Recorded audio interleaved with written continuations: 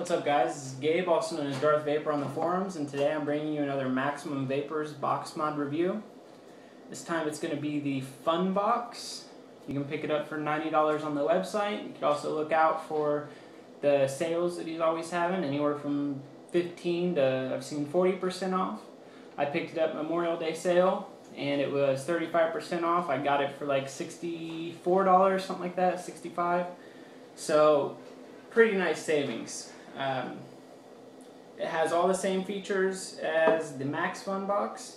It's got the drip ring, it's got the horn switch, the dial, variable voltage, takes two 14500 batteries. I use AWIMRs. It's got the Evercool regulator. But what it doesn't have is the juice bladder. So on this one right here, you see the juice bladder. But I would take the size of this one, just because this one really wasn't that fit in your pocket very well. Um, this one is definitely something more my style, because I like taking my mods out with me. And this one's awesome. So it has everything but the juice bladder. Um, drip ring on here uh, works well. I've noticed a big difference between this and my other mods. I know like on my silver bullet, the juice will run out and go which it, whichever direction it really wants, the juice wants to run down. Sometimes it goes in the switch, sometimes it you know, just runs down one side. And what I noticed with this one is it's built right towards the outside, facing away from where the back comes off. It's closer to the this back side, and it'll just kind of run off if you have an atomizer that leaks, you know, a lot. Um, this one is a dark gray, faded into like a silver, back into the dark gray. It's actually one of my favorite box mods, and that goes for pretty much any box mod I've ever seen. A lot of people have gave compliments on it since I've got it. Uh, it's just cool. It's got a real sturdy uh, plastic. It's not made like this. The box that I'm doing the giveaway for right now, it's more of a, a real sturdy box. I felt like if I, if I feel like I, I were to drop it or something like that, let's hope I don't, that it would hold up real nice. So I'll go ahead and turn it down to the lowest setting, which is 3.14. And I did a video on this recently, and the dial on here, the voltage dial, was really stuck, and I feel like I needed to remake one and give this box more credit because I do like the box, and it was an easy fix on my side. I just had to push the regulator later in a little bit. So it really wasn't that big of a deal, so I figured I'd make a new one. Um, I'll go ahead and start off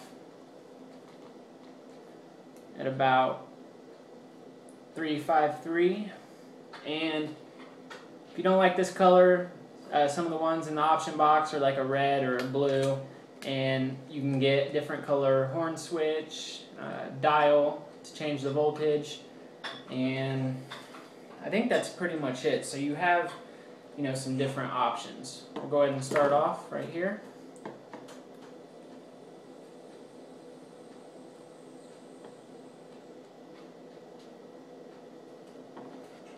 Alright, so if you saw it was at 3.53, when I just vaped it was at 3.51.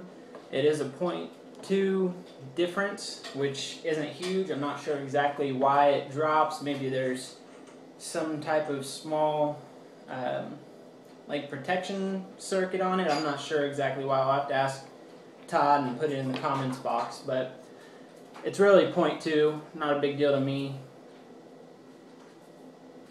Go ahead and turn it up a little bit.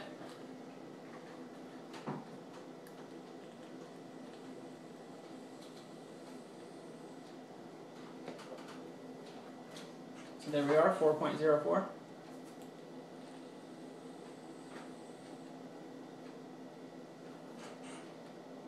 And I'll go ahead and do one more setting.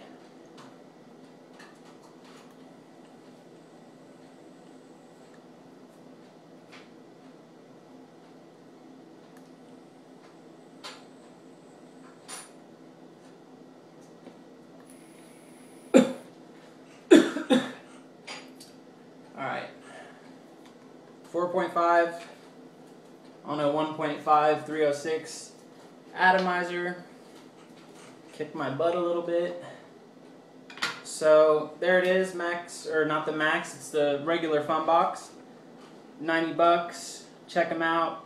Todd's going to be shutting down the site for about a month and basically stocking everything.